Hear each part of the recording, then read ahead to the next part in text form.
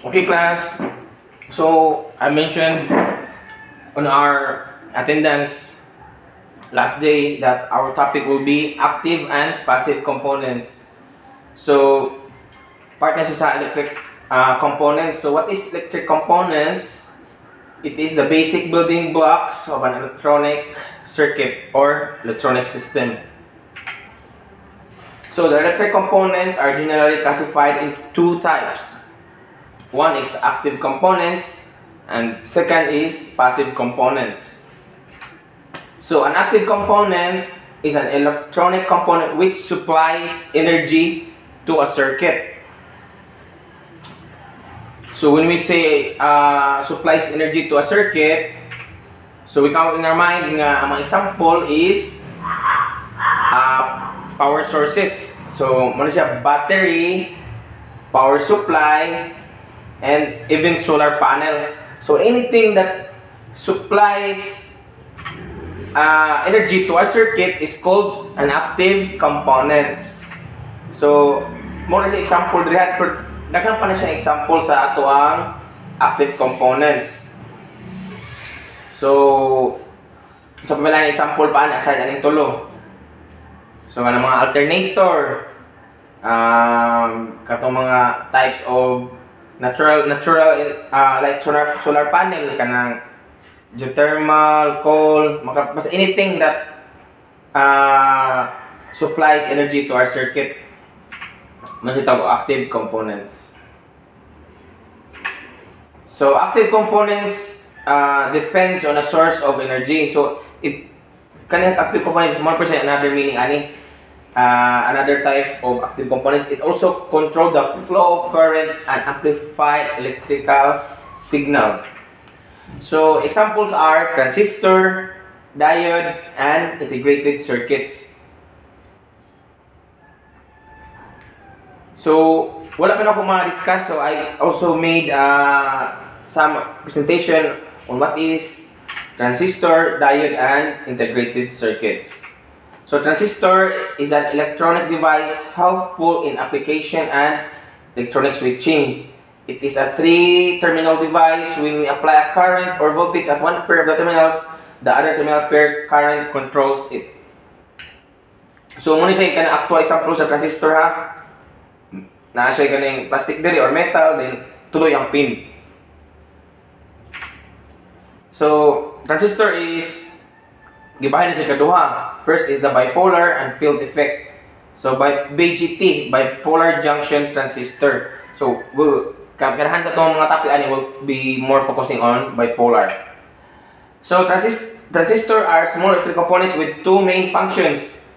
Uh, switch a circuit on and off and amplify signal. So kaniyang 3 pin niya dire um, muna ito i-connect sa circuit then kaning sa tunga sa iyang supply Kay example kana bitaw magbutang taog circuit and butang tag switch para ma-off ang bombilya. Karon naman ang manual. Di ba? Pero so ang para para maawa na siya, mo siya automated, buta na to og transistor. Kay para example ang ang transistor is muhayag ang suga kung dako ang voltage, then kung dili mo musiga ang suga kung hini ang voltage. So na automation ba? So that is the purpose of transistor. No need na tayo manual ag hikap ang switch. Then next is mo amplify po yung signal like kung atong circuit buta na to og microphone na kung dako atong tingog mo na siya mo, hatag siya og uh, mo hatag pud siya signal diri sa tuang suga na musiga siya. Mo siya gamit ang mga nay matay mga sensor pod nga kung naay mutingog mo alarm siya para sa sakyanan. Nga ana, so na siya transistor kanang na mga alarm na imo lang pakun mo kuan sa vibration or movement okay mo hatag no need na siya og switch. Kay kung switch pa wa na nakagawas na ang thief or anything nga ni kuan sa tuang properties o sa tuang butang. So ang transistor is na siya recent case ang isa po naka metal so sa kaning recent case uh, small, low power transistor have a recent case. So, kana mga gagmay rag am amperahe, gagmay rag amperes.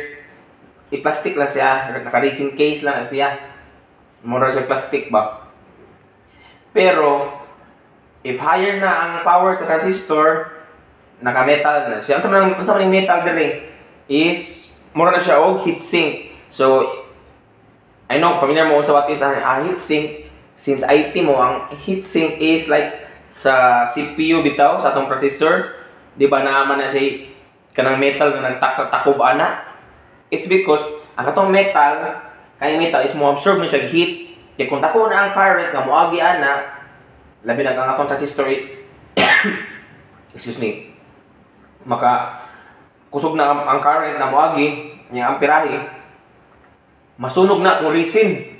Masunog na siya muna i-metal siya kay dali man siya maka-absorb metal og heat and dali pud mo disperse labi na kung na, nalasay nindot og fan, naka water cool ana.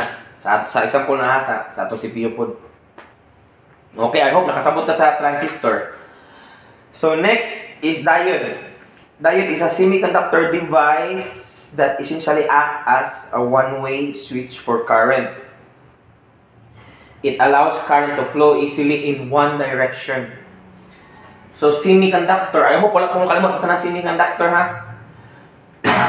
excuse me, ang semiconductor no kanang it will act as a conductor and an insulator. So pwede siya maka flow of current, then ang insulator is pwede po siya maka-stop sa flow sa current. So mo example sa diode. So mag-wonder ta ano kanon sa kanya paagya ni pag-stop sa current. So explain. Ang diode has two parts. Ang kay anode, ang pikas ang cathode. So kaning usa ka line diri it represents nga kung ato ni atubang sa circuit ato sa agi ang kuryente ang iyang flow kung kung atong balihon dili pud kaagi ang kuryente. So muna na ni siya line para makibaw ta asa nato atubang ato ang diode. So ang basic example is tubig, di ba? Ang current is more on water, nung ginasa kay current, flow of current, ang iyang sub, Example, if sa lugar na mag-abot ang tubig o ang dagat, di ba, kung makusog ang baha, ang ato ang kung ato butang ang valve diri ang ato ang pipe ang to ang dagan sa current is padung sa dagat no? So okay ra. Di man na mapuno ang dagat? So okay lang lang si mag-agas na siya pero what if mudako ang dagat so mo na purpose sa atong check valve if muna ko ang dagat, ang kaning kaning tabon diri, padon ang dagat dito sa flow niya. So masira ni. So meaning dili masudlan ato ang mga sudlan og dagat tubig dagat ang ato ang water pipe. So dili di madaot, di mo wa o dili makatag og problema sa ato ang flow sa atong current. Pero kung buta daka sa tubig, moabli ni, no? Moabli siya, gawas. Same ni og example sa diode. So act as a one-way switch for current. So, mo example ha. Usa usa yan daganan pero kung mo balik ang mo balik ang current di kalahos kay manaog man ni ang valve. Sa tubig ni na example pero mo po ni siya og diode. Okay, so hope nakasabot naman niya nga uh, picture ha sa akong presentation. So dali na sabton if if ang kan padung dito So, flowing na siya, one direction. Pero kung ang, ang current is mubalik siya, dili siya kalahos kay, mas tapan man ani. Yan siya tabon. Okay? So, next is an integrated circuit, IC. So, an IC is an electronic device comprising numerous functional elements such as transistor, resistor, condenser, etc. So, mga wires tanan uh, on a piece of a silicon semiconductor substrate and is sealed inside a package with multiple terminals. So, have you wondered ganong na na may miniature ang mga mga electronic electronic devices ron like lap, laptop, cell phones, even our desktops, ano bulky kay na, no? Ano mag mag-wonder ta, why is it na, na ang mga MacBook nipis na kayo, mga phone, It's because of IC, integrated circuit. So muna yung mga terminals daghan yung terminal sa So ngano nag nag, nag IC before wala pang IC maka, sa maghimot ang circuit kaya nag transistor, kaya nag diode, kaya nag resistor, then naka-connect pa siya sa connecting wire, conducting wire.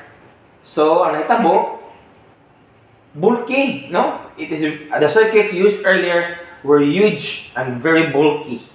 So, mo to mga cellphone na mga 3310 dagko kayo kay na si IC pero dili pagid siya para karon nga IC gagmay na kayo. So, kagana ato na mo mga circuits no? Ipanggamit bantay mo sa first kay sa inyong search sa Google first computers dagko kayo murag mga kwarto gidakon. Is because wala pa man to ang mga IC so ang IC gi-combine na sa tanan. Sa mga wire circuit resistor transistor capacitor. So mo na na giusan na na siya. Then ang IC ang standard size pud niya is 1 mm to 1 mm uban mo tas taas pero kadaghanan mo ni yang pinaka yang pinaka standard size is 1 mm to 1 mm. So kibaw mo sa 1 mm.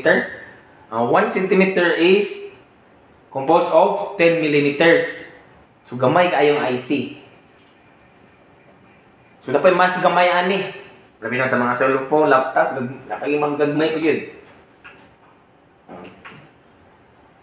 So since kabalo na taan ni tanan, kung sa lang IC, transistor, capacitor ito kong display. Nakabalo na ta. Sa atong sa active components. Proceed na tayo sa passive components. So a passive component is an electronic component which can only receive energy. So ang ang, ang, ang active ha, eh, kanang supply energy kani siya which can only receive energy uh, which it can either dissipate, absorb, or store in it in an electric, electric field or magnetic field. Passive elements do not need any form of electrical power to operate. Passive components cannot amplify, oscillate, or generate an electrical signal. So, opposite siya sa, sa active ang passive. Okay. So, These are the examples of passive components. First, resistor. So we all know resistor is kung pagkamay sa flow sa current, no? Like light bulb. So resistor can only uh, receive energy and dissipate as a heat in, uh, in uh, as long as there's a current to flow. So dili gid siya ang nag-supply o kuryente or energy. Next is capacitor. Uh, cap capacitor stores energy in it uh, electrical field. So, mo malibog tangan nung di man siya matawag og active since mo add man siya energy. So, ang capacitor is ni store lang energy pero dili na siya nag-supply era nang gi-store for later use. So, ang battery ang supply sa capacitor.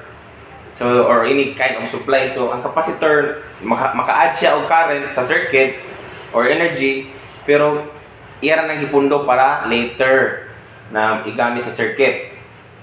Next is inductor. Inductor is uh, uh, can store energy in a magnetic field. So, ang capacitor is electrical field man, sa inductor is magnetic field. Okay, then antenna, um, it can transmit and receive uh, radio uh, frequency or signals, but it is not, uh, it uh, it cannot supply any source of energy. Therefore, part gapon siya sa passive components.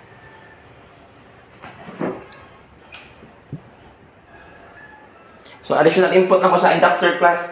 Uh, inductor is, example na is kanang mga alternator, kanang na dynamo, anything na na magnet. So, katong explain ko ganina, uh, active is, alter, apil ng alternator is wrong. So, inductor is part of, uh, alternator is part of inductor. Okay, so kung makabantay mo ng mga magnet, nga na wires, kana ba mag-rewind, ana, na ibutang sa magnet, it is an inductor. Okay?